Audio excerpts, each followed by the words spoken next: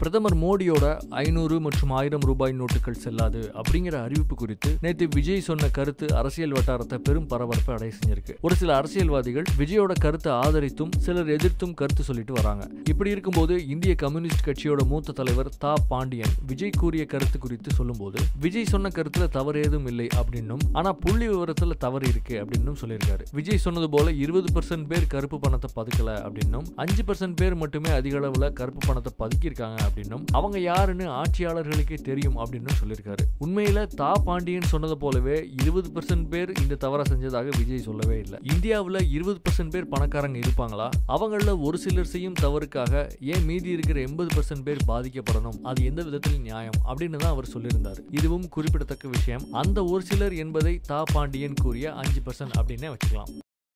But நான் என்ன சொன்னாலும் வேற ஏதாவது தலைப்பு அவங்க போட்டுடுறாங்க அதான் பயமா இருக்கு. ரஜினி சார் ஆரம்ப கால படங்கள் பார்த்தீங்கன்னாக்க ஃபாஸ்ட்டாக பேசியிருப்பார். ரீவோட படம் வரக்கூடாதா நீங்கள் வேணால் போக நான் வரலங்கிறாராம். ஒரு ஆட்டம் பாம் வந்து வெடிக்கிறதுக்கு முன்னாடி டைம் பாம் செட் பண்ண மாதிரி அவருக்கு ஒரு கேரக்டர் அமைஞ்சுது.